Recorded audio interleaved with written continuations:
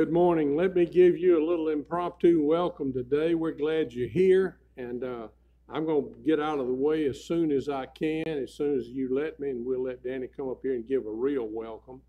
But we are approaching the time, or we're here for election of deacons in our church body, and for all you members, this is the day that we we vote uh, for deacons. Today we vote for two deacons. Now let me encourage you. I do every year, and you hadn't got this in 38 years. But two is the number between one and three. That means you have how many hands? Two. That's how many you vote for, all right? And I'm, I'm not kidding you. We always get somebody that votes for three and somebody that votes for one. So we have to disqualify those ballots. So we want you to vote for two this morning. Uh, do y'all agree with that? Hold your hands up if you do. For those of you, for those threes of you, you don't count. All right. Let me ask the ushers if they'll come. If you're a member of Anchor Baptist Church, you hold your hand up and they'll get you a ballot. To hold your hand up, you got to hold it high. These ushers I have a hard time seeing you. When you get a ballot, you can lower your hand. Don't vote till I tell you, all right? I'll tell you who to vote for, all right?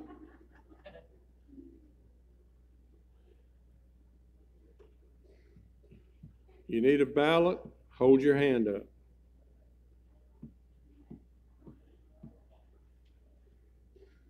Now, when you get that ballot, you're going to see a line drawn toward the top of that.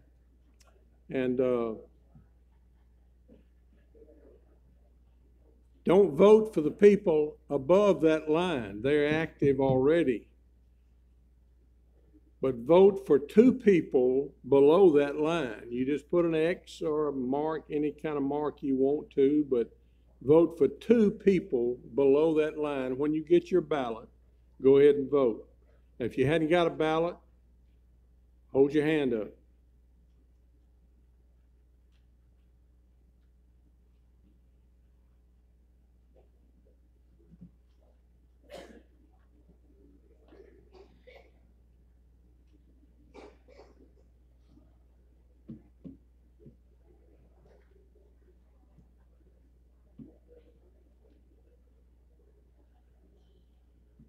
Vote for two people below that line. Two.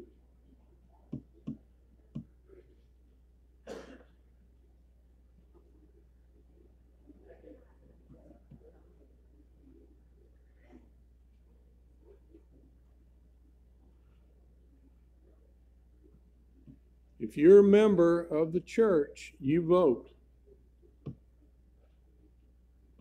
If you're not a member of the church, you need to be a member of the church. We'll give you an opportunity to do that later. If you need a ballot, don't have a ballot, hold your hand up. Everybody has a ballot. All right, as you vote, vote for two people below that line and fold your ballot in half. Not in fourths, in half. And pass it to the middle aisle. And for those of you in the middle, I know that's confusion, so you just pass it either way. Just get it to the middle aisle, and the ushers will pick them up. We'll count those ballots after the service today.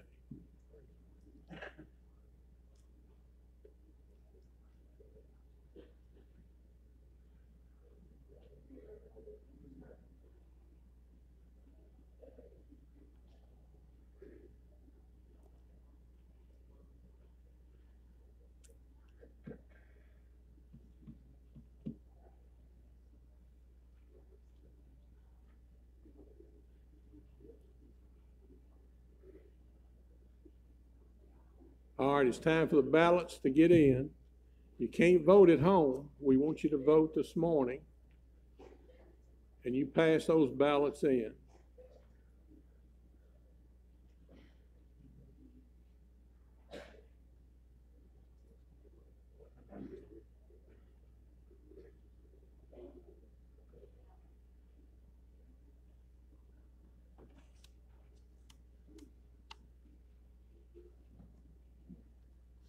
Have all the ballots.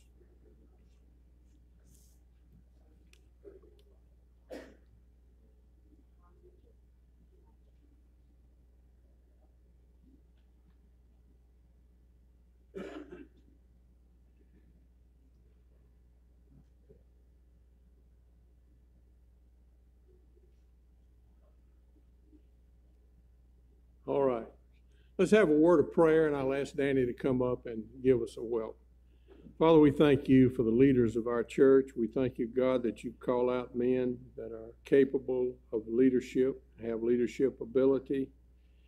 God, you want this church to go forward to be a, a voice for you, to be a witness for you. We thank you, God, for our church. We ask you, God, to further bless our church, be in it, be active, and we know that we'll be successful in our Christianity as a church to the amount that you're here in it, to the amount that you have of it, and to the effect that you do through us, with us, in and around us. We ask you, God, to be with us today in this election, and we ask you, God, that we might have the people here that might reflect the Lord Jesus Christ. We ask you to be in our service today. And we call on you to be in our service, invoke you into it, and ask you to have a, the part in it. We ask it in Jesus' name. Amen.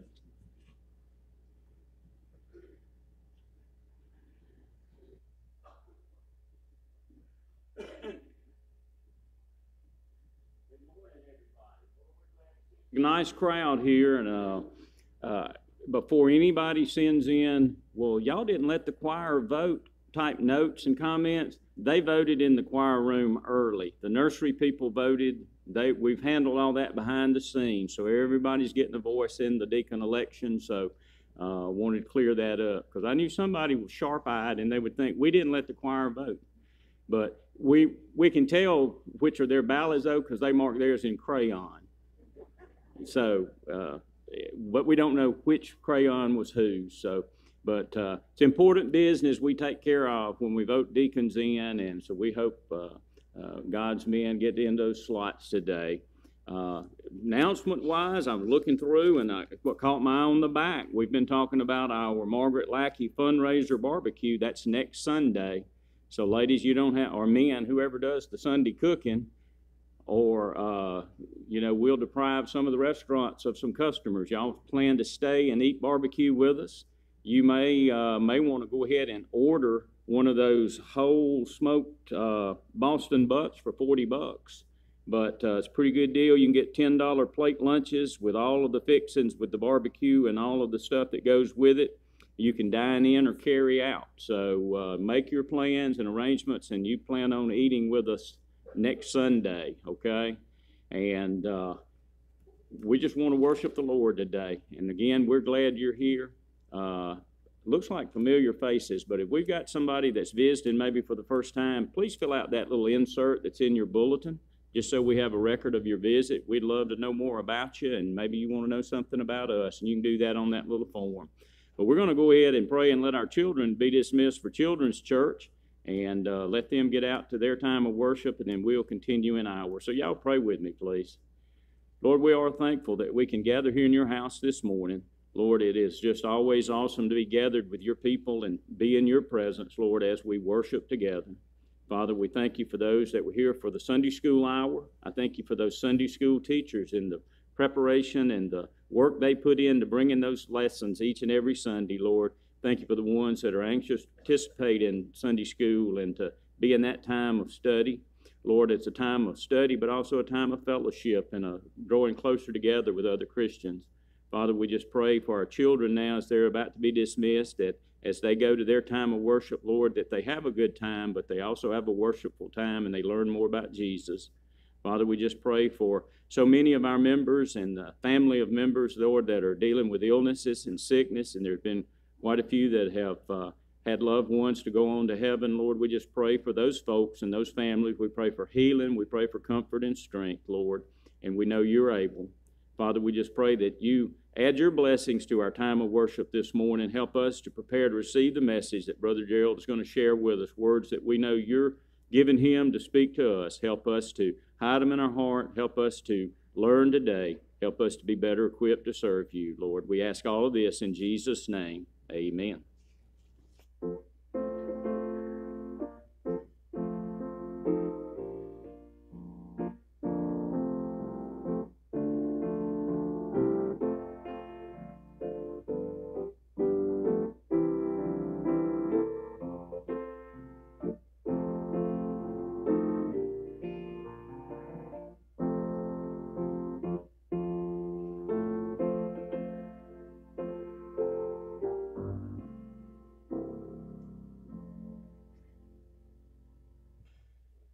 Morning. It is great to be back with you all here this morning. We're going to start our service with a victory in Jesus. We're going to sing three verses, not two or four, but three verses. If you'll all stand and sing.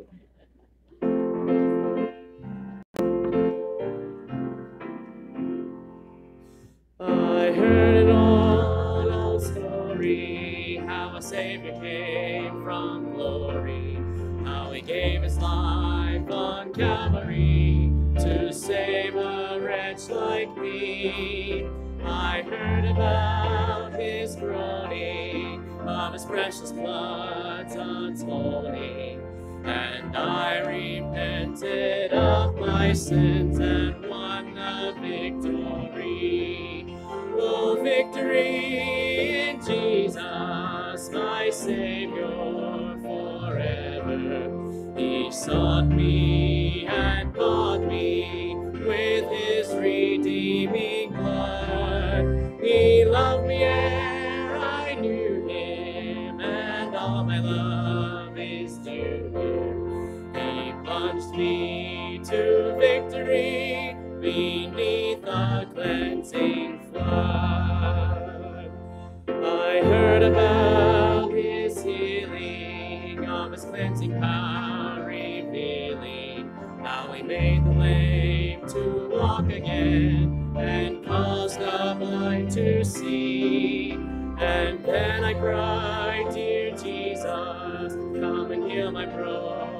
spirit.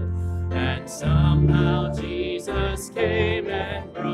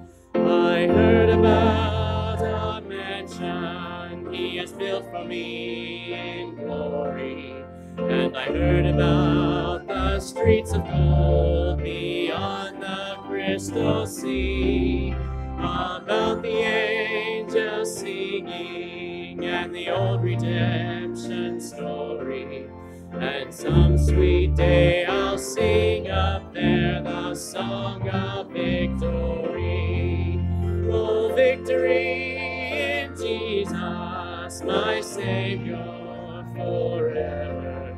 He sought me and bought me with his redeeming blood. He loved me and I knew him, and all my love is due him. He plunged me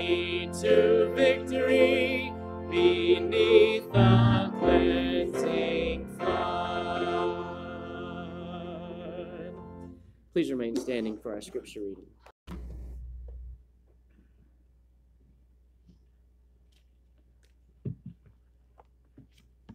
Today's scripture is Romans chapter 1, verse 1. Paul, a bondservant of Jesus Christ, called to be an apostle, separated to the gospel of God. Will you join me in prayer? Dear Heavenly Father, we see here today in our scripture that Paul identified himself as being called, and we know that you've mentioned it in another scripture that we are called according to your purpose. We pray, Lord, that we would each fulfill that purpose that you have seen in our lives. We ask, Lord, that you would be with us as we are witnesses in the world. Help us to show others your love. We ask that you'd be with our pastor as he brings the message you have prepared for us. Help us to retain it and use it. Forgive us when we sin. In Jesus' name, amen.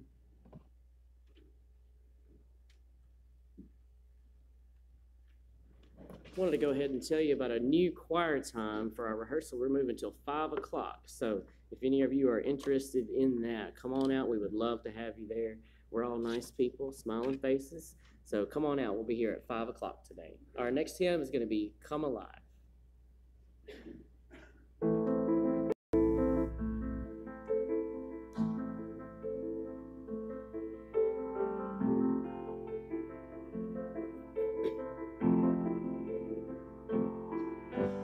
Through the eyes of man, it seems there's so much we have lost as we look down the road where all the prodigals have walked. One by one, the enemy has whispered lies and led them on as slaves.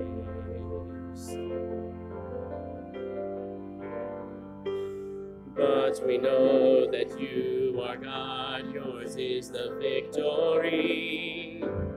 We know there is more yet see. So, with the faith you've given us, we'll step into the valley unafraid. You alone can save.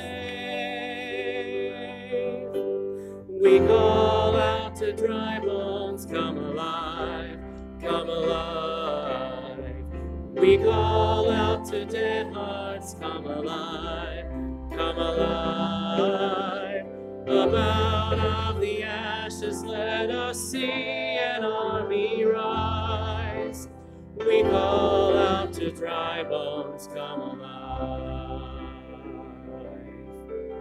God of endless mercy, God of unrelenting love, rescue every daughter, bring us back the wayward sons, and by your Spirit breathe upon them, show the world that you alone can save. You alone can save. We call out to dry bones, come alive, come alive. We call out to dead hearts, come alive, come alive. About of the ashes, let us see an army rise. We call out to dry bones, come alive. Breathe, O breath of God, now breathe, O breath of God. Breathe, O breath of God, now breathe. Breathe, breath of God. Breathe, O breath of God, now breathe. Breathe out to dry bones, come alive, come alive. We call out to dead hearts, come alive, come alive.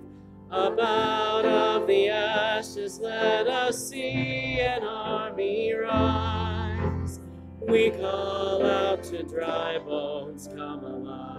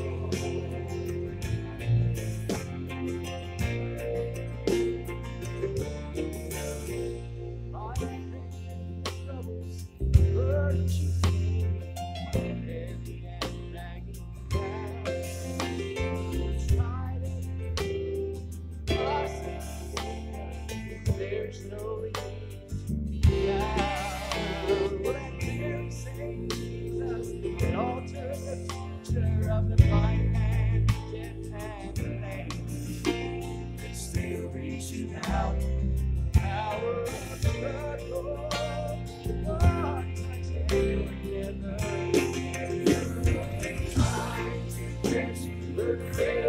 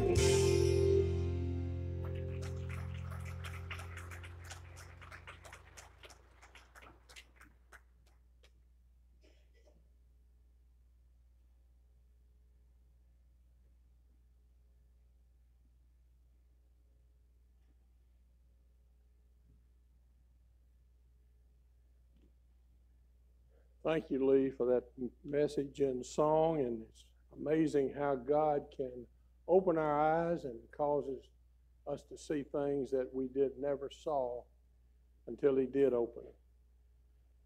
I want you to take your Bibles and open them to the book of Romans. And although I want to talk to you about just one verse today, that's the most important verse for us to see because it begins the book. But let me tell you a story before that. In the 60s, accessories were not prominent on cars that you bought. And if you had a car with a lot of accessories, you were looked on as being privileged. There's a woman that told a story that grew up not far from us. She grew up in southern Alabama. She said, on one occasion, in the middle of the summer, my father told me, he said, roll up your window, roll it up smooth and easy like it's electric. She said, I was six or seven years old at the time and I didn't know what he was talking about. So I asked him why. And he said, So everybody thinks that we have air conditioning. Well, I told my father, and it was the middle of the summer, as hot as it could be, hot even with the windows rolled down. She said, I told my father, Daddy, they're going to know that we don't have air conditioning when they see four people sitting in this car sweating like pigs and panting like dogs. But he insisted, and she said, I knew what I'd get if I didn't roll that window down, so here I go. Smooth, easy cranking like it's electric. And she said, There, as I rolled that window up, I felt the last of the breeze coming through that window. We live in a world of pretense, don't we? Hardly anybody lets anybody else know who they really are. And it's hard to know who or what is real. My pastor at Broadway Baptist Church had a favorite verse, and he'd go to it often. And it deals with a reality. It's in Second Chronicles 16. And it simply says, For the eyes of the Lord run to and fro throughout the whole earth to show himself strong on behalf of those whose heart is loyal to him. That verse simply says God is looking for who is real. Throughout history, God seems to have focused on several people, even in church history, that have become important to us. We have the person of Martin Luther, who in 1511 found himself as a monk in the Roman church. He was teaching a class on the book of Romans and he looked down and he read Romans 1:17 and God seemed to open his eyes for the first time to that verse. And the verse simply said, "The just shall live by faith." He said then he realized that he was in a religion that was a works religion. And they told him that he had to keep certain sacraments in order to keep his salvation, that he had to work for it.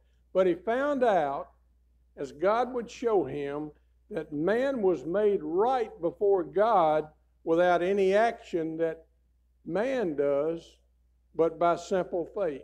It was a brand new truth. It changed him, and it led to the Protestant revival. That's why you and I are here today. We're Protestants against the Romans church.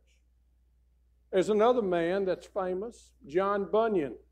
Something we don't often hear about John Bunyan. He was an Englishman, grew up around Bedford, England. He spent 12 years in a Bedford jail because he would not give up preaching. But while he was in that Bedford jail, he read the Bible and he got on the book of Romans and he wrote an allegory mocking the book of Romans, and that allegory is called Pilgrim's Progress. There's another famous man by the name of, of John Wesley. John Wesley came to Georgia as a missionary and a, and a young man. He came to be a missionary to the American Indians.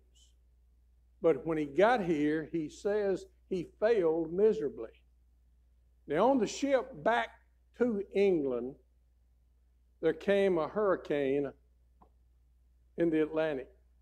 It took that ship and it threw it back and forth, and all of the crew and the captain on that ship were in a panic. They were scared to death because they knew that they weren't going to live through that storm. He said, but there was one group of Moravian Christians from Czechoslovakia. They were calm and cool as could be. They sang hymns, they quoted scripture, they prayed, but they were not in a panic. And he said when he got back to England at Aldersgate, he was walking down the street and he read what Martin Luther had written about Romans 1:17, the just shall live by faith. And he says, My heart was changed. It was strangely warm. Now, all three of these men I've mentioned to you have one thing in common. They were all influenced by God as God the Holy Spirit took the book of Romans and made it personal. Book of Romans is the sixth book in the New Testament. It is the longest letter, or we call it a book or an epistle, that the Apostle Paul wrote. Let me tell you why Paul wrote the book of Romans. He was in Corinth at the, one of the most problematic carnal churches in all of the New Testament, and he was in a place where he couldn't leave. He was teaching them what they had done wrong, their falseness. He couldn't let it go. He couldn't leave that church. He wanted to go to Rome because he had gotten a message that a new church had formed in the city of Rome, and he wanted to go there.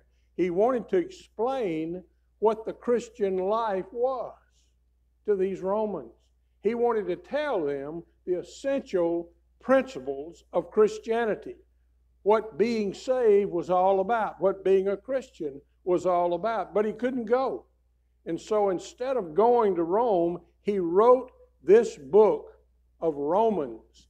And it turns out to be the most concise, concentrated doctrinal book in all of the Word of God. It is a book that many people will go to before any other book. But you might ask, why did Paul think he was qualified to write such a book? How could one human being like you and me write a book explaining all the essential principles of Christianity and what a Christian was and who a Christian was? Why did Paul qualify? May I say to you, in the best way I know how, Paul was the real deal. You say, what do you mean by that? I mean that there was no pretense, no fake. He was honest, he was open, and he was true. Years ago, the emperor of China had a famous orchestra. And one particular member of this orchestra did not have any, I mean, no musical ability at all. But he had weaseled his way somehow into this orchestra. And when they had concerts, he always pretended to play, but he didn't know music at all. He loved the attention he got from being in that orchestra. He loved the money that he got from being in that orchestra but he couldn't play a note. One day the emperor had an idea. The emperor wanted to have each member of the orchestra play him a special solo performance. Now, that man whose life was only pretend realized he couldn't escape having to admit his lie. And what he did he killed himself. He committed suicide. The event coined the phrase that we sometimes use of being willing, unwilling to face the music. Let me ask you a question Are you the real thing? Are you the real deal as far as God is concerned? Or are you just living a life of pretense, going through the motions, doing what you have to do to look presentable to everybody else. But are you the real deal? What if your Christianity became a solo act? What if this morning I asked you if you would leave your pew and I pointed to you and called you by your first name and you come up here and stand behind this pulpit and give your testimony as to how you became a Christian. How did God save you? You come here and just simply share your faith. Now, I know some of you are thinking, now, Brother Jill, I just can't do that. I'm okay one on one or in a corner with somebody. I can talk uh, to them in a conversation, but just speaking in front of a crowd, no, that's not me. I can't do that. The Bible says we shall all appear and stand before the judgment seat of Christ one day. And one day, you're going to have to stand before the judgment seat of Christ, the King of all glory, and give a solo performance yourself. And given that solo performance, how are you going to describe your life? We wonder what real Christianity is today. We have so many mock churches and fake preachers and people who are criminals as leaders of the churches today, and so many crimes committed even by churches today, we look at how Paul described his life. You say, well, that's, different. Paul was an apostle. And you're not the, an apostle in the sense that Paul was, but he puts down the essential guidelines of who a Christian really is. Look at that first verse, if you will. Paul, a bondservant of Jesus Christ. Look up here just a minute. Now, I know I've got your heads bobbing, and I do that to keep you awake. You know what the second century description of the Apostle Paul was? Paul was described by the historians of that day as a short man. He was short in stature. He was bald. He had no hair. He was hook nosed. He had an eye disease. And the eye disease that he was thought to have at that time looked like the eyeballs were almost protruding from their sockets. Were not pleasant to look at. He's described as not being an eloquent speaker.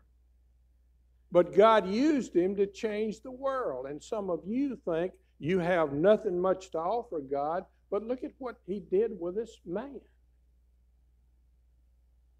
One verse this morning is a description of Paul given by himself.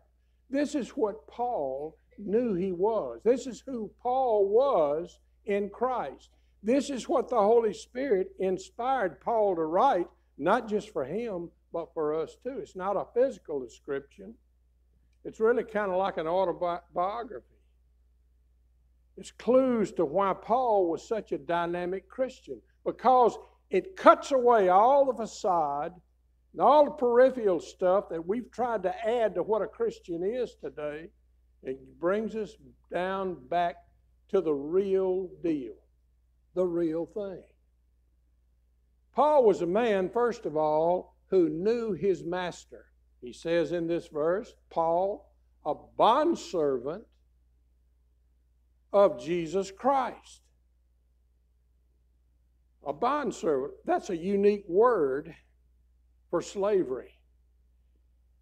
In the English language, we have about 26,000 words, and it would surprise you to know how few of those words we use in our everyday communication. But in the Greek, there are 122,000 words to use. The Greek, Koine Greek, is much more accurate. And so Paul picked out of those words, 122,000 words, he chose a very specific word to describe himself. The word is doulos, D O U L O S. It means a bond slave, a bond servant. Now, Jewish uh, slavery was unique. A Jew could have another Jew as a slave. If you owed a man a great deal of money, you could work it out by being his slave. But a Jewish slave could only be a slave to a Jew for seven years. And at the end of that seven years, the Jews had what they called the, the year of Jubilee. And at the year of Jubilee, in seven years, a Jew was released from slavery. Or a Jew that was a slave had a choice of being released. That was a point of decision. Some slaves did not want freedom. They made a choice to stay as a slave. Now, what that owner would do was to take that slave who made a choice not to have freedom, but to continue being a slave to his master, they would take him to a priest. That priest would take him to a special person that would take him to a doorpost. And he would put that slave's ear against that doorpost, and with an awl, A W L, a pointed instrument, he would bore through the ear of that slave. it would be a kind of a mark or brand, a stigmata that identified that slave. It was a sign that he has forsaken his own free will. You know what the people would say in the marketplace when they saw that brand on the ear of that person who had forsaken his freedom? They would think, what a wonderful master he must have. He must be kind, he must be generous, he must be loving. Where would the Apostle Paul be if he walked into Anchor Baptist Church today? How would he fit into our congregation? Would he fit in here as being a slave? Nobody is a slave in our modern day 21st century Christianity. In any church, in any Baptist church, nobody considers, no Christian considers himself or herself a slave. We have the opposite idea today, and that's where we're off base. We have the idea that Jesus is to serve us, right? Sunday morning and all its worship is all about me, right? Wrong. It's not all about me, it's all about Jesus Christ. We've gotten away, we've left our first love. When Paul introduced himself as a bond slave, it was a term of derision. There were about 600,000 bond slaves in the city of Rome in a population of about a million. Paul could have said, Paul, a citizen of Rome, because he was. His father was a citizen of Rome, his mother a Jew. Are there any bond slaves around today? Have there any popped up in our lifetime as Christians. I think Mother Teresa would qualify. She's dead now. She did some of the pitiful ministry that most of us would not touch. She went to one of the poorest countries in the world, in India, to Calcutta, and she ministered to people with the most grotesque things wrong with them. Some of them had leprosy whose body parts were rotting away, cankerous, running sores. And she ministered. She had one guy follow around, and he said, as he looked over Mother Teresa's shoulder, and he said, I wouldn't do that for a million dollars. You know what she said? She said, I wouldn't either, but I'd do it for Jesus for nothing. You see, what I, God is trying to do this morning for you in the book of Romans, whether you're here as a member or a visitor or once in a while. He has a reason for you to hear this this morning because He wants to give you a description of who you need to be and who you are in Christ. You ever have anybody bring you a picture and they tell you it's a picture of you, and they tell you how much you don't look like that picture anymore. Huh? You ever had that? You want to make them eat that picture, don't you? I have people bring pictures of me when I first got to the church, and they'll say, Brother Gerald, you know, you don't look like you did when you came. And you know what I want to say? I never say it this is, if you bring me a picture and you say that, this is what I'm thinking. You don't look like you did when I came to this church. But the book of Romans contains a depiction of what a true believer in Jesus looks like. Does it look like you? Are you a slave of Christ? Paul de- described himself as a slave of Christ. What does that mean? That means that you are a Christian that is not resisting God's authority. To not resist God's authority is a huge secret to living a successful Christian life. Is trusting Him without trying to call the shots or setting the agenda for your life.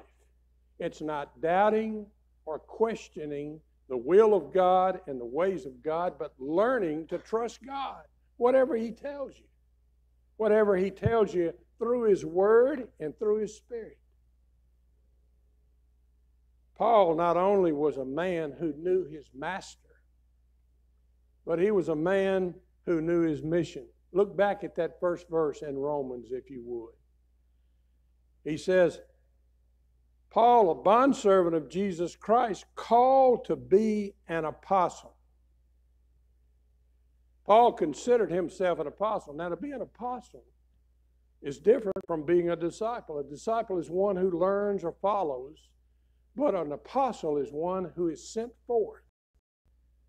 Paul says, I was one that was born out of due time. He was saying I wasn't included in the original 12, but I saw Jesus. He writes in 1 Corinthians this verse, he says, Then last of all, he was seen by me also.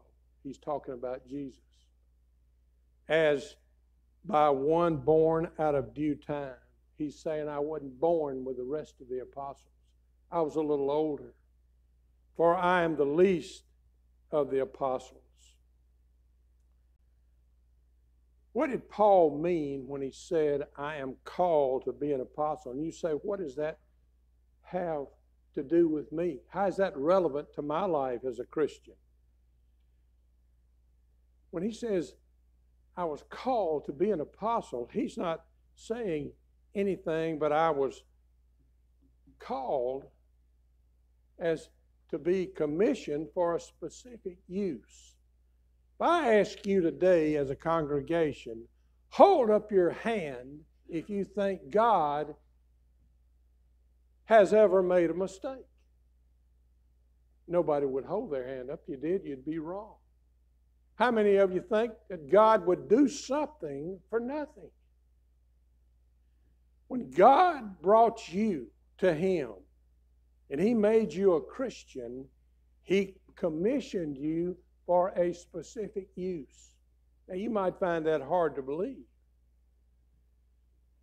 but you have been summoned for a very important task because God didn't save you for nothing. He saved you for a specific use, more than one use probably, but He saved you for some. He has you Christianized, or He's made you a disciple and brought you into His family for you to do a specific thing. But most Christians look on Christianity this way. Well, I'm not useful to God. I don't have anything to offer God. I don't think God can use me in any way. But God saved you for a specific use. He knew who you were, He made you, He brought you into a certain family, gave you a certain background of education or no education. He's brought certain experiences in your life that nobody on this earth has had just like you. And He has a specific use for you. When I think about that, I think about a key. Most of us have a keychain. We have a lot of keys. But let's just look at one key this morning. It's used for several things. You know, I've seen people use keys to punch a hole in a belt. I've seen people use keys as a screwdriver. And some of you are guilty, I can tell by looking at you. Some of you use keys as a weapon. And some of you husbands might show marks from a key that your wife might have used. I'm just kidding. Some of you even use keys to pick your teeth. What I'm saying is this keys are used for a lot of different reasons. But though they have a lot of potential uses, there's only one real purpose. God saved you to do one purpose in your life. He may have done it, He may be doing it with your life, whether you know it or not. And sometimes He lets you know what that purpose is, and sometimes He doesn't. But He's He never does anything for nothing. A key is designed with personality. It has cuts and ridges where little teeth go up further than others, plain off, and for only one lock. You are the only key that can unlock what God wants you to accomplish in this world. Some of us have keys on a keychain, and some of those keys we don't know what go to. But we don't want to throw them away because someday we think I might discover their use. There's some of you sitting in this sanctuary this morning, and you're not sure why God made you and why He saved you, but you just keep going, hoping you'll discover your real purpose. Let me tell you how God can focus you and direct you. It's by prayer, it's by the Word of God, it's by the obedience you have to God, it's through the common relationship and fellowship you have with a person of Jesus Christ on a daily basis. You can keep yourself busy with many things, but to miss God's calling is going to be tragic in your life. When the level of my faith rises above the level of my fear that I have for something God might call me to do, then anything is possible in God's will. Do you have that kind of confidence in the sovereignty of God over your life and His willingness to do great things through you? God does not use great people, but He uses great faith. Hebrews 11 is a list of people who obtained things for God that no other people obtained. But when you look at that list, those people were nothing without God. But they allowed God, in spite of their fear, to use them and accomplish mighty things. I went to seminary in Memphis. We got to see and hear a lot of great preachers. But one of my favorite was one who was physically close to the seminary. Right across the street in Memphis at that time was the Bellevue Baptist Church. Adrian Rogers pastored that church. He was one of the greatest communicators for God the Southern Baptists have ever had. He was the president of the Southern Baptist Convention. He was really a great preaching pastor.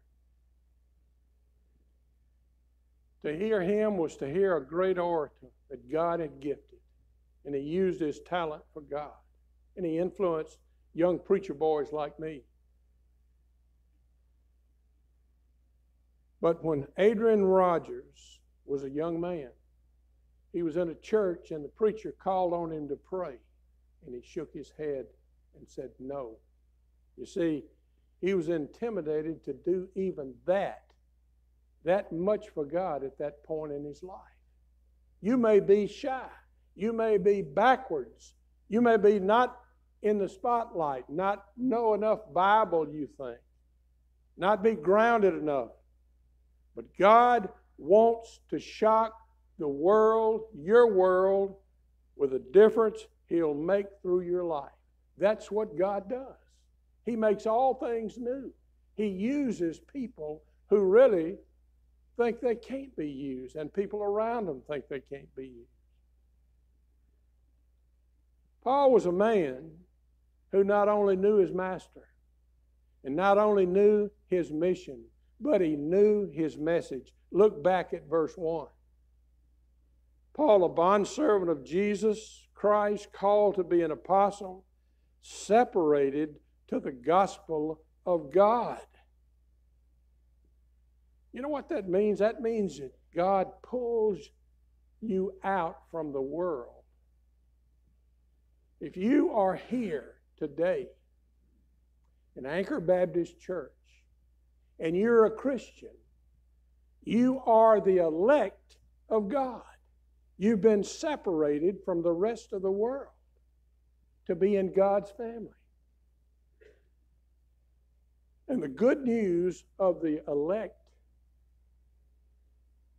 one of the characteristics of who a Christian should be and how God says a Christian ought to be, is that you have been given a gem. Notice here, he says, I'm separated to the gospel of God. You know what? That's not just for Paul, that's us. When you were saved and you came down this aisle or some other aisle and you came through the baptistry and you made a profession of faith and your name was put in the Lamb Book of Life, if you are the real deal, if you're the real Christian today, you're separated to the gospel. You know what gospel means? It means good news, good spell.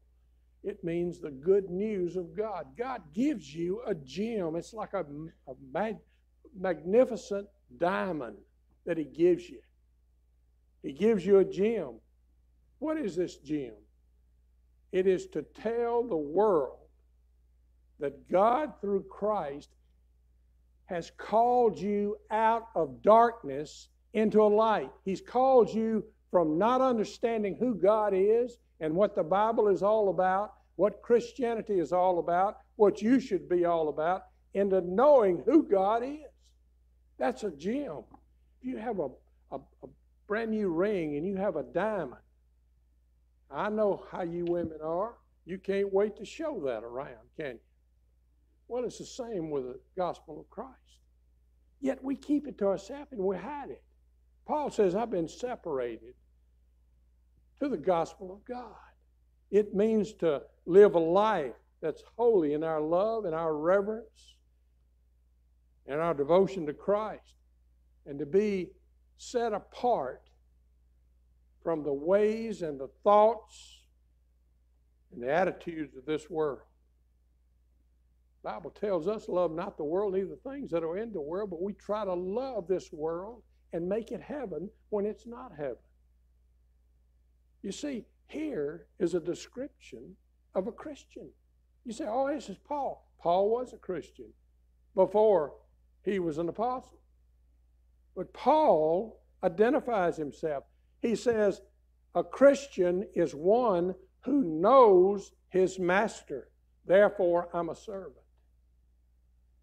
I'm a slave. He was one who knew his mission. Therefore, I've been sent. You know, so have you. A Christian is one who knew his message. I've been separated. Paul writes this great book of Romans, and he's given all of the major doctrines at a certain point, and he comes to a certain point, and he seems to stop. He gets to that 12th chapter. And this is what Paul says. It's like he puts down his notes and he says, Because of all that I've written in this book of Romans up to this point, I've told you all I know. I've given you all my heart. I've shown you how to be a real Christian. I beseech you, therefore, brethren, by the mercies of God, that you present your bodies a living sacrifice, holy, acceptable unto God, which is your reasonable service. And be not conformed to this world, but be ye transformed.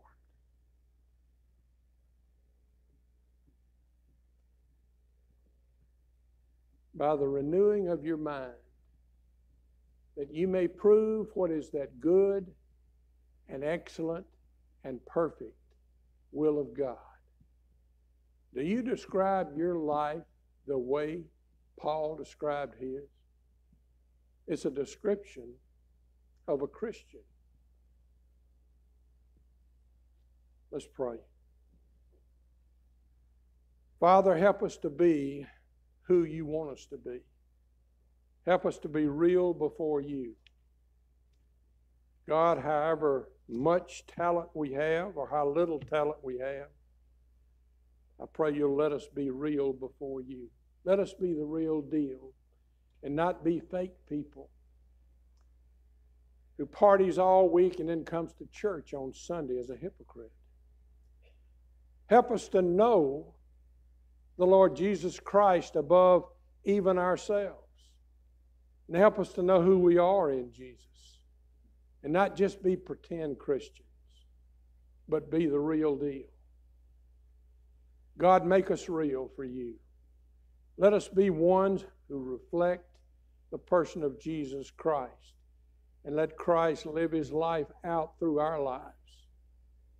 God, help us overcome the hardships of this world.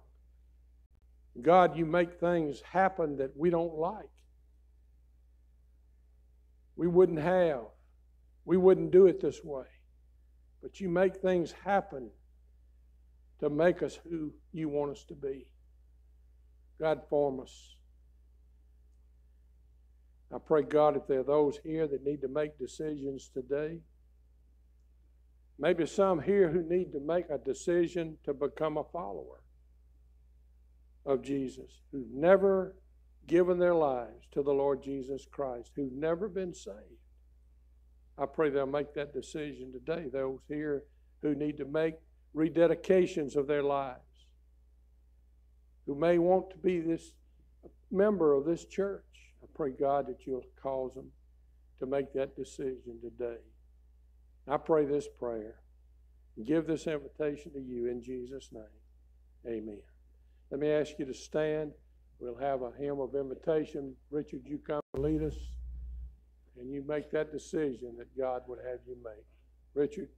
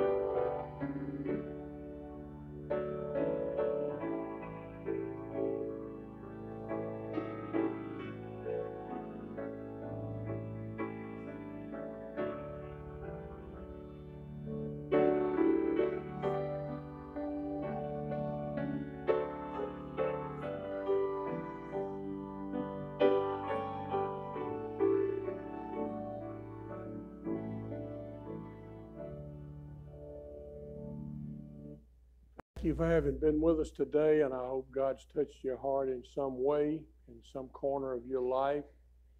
And I hope God has an influence after you leave this church today on your life.